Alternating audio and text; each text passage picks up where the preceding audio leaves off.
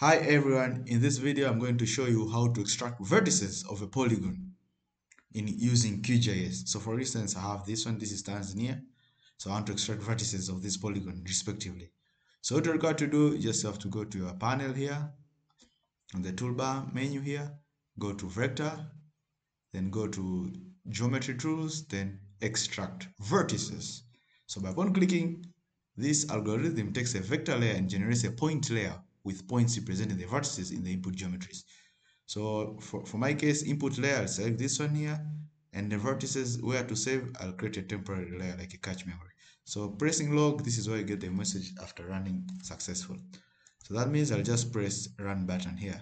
So by pressing run button, actually it calculates in the log, then complete.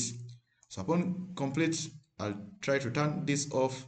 You see, I have these vertices. You see, so if you, these are called vertices or nodes, so you can always extract like this, like this. You see, I can try to turn it off. So this is the way of using extract vertices using QGIS. So thank you for watching. Make sure you subscribe for more videos like this.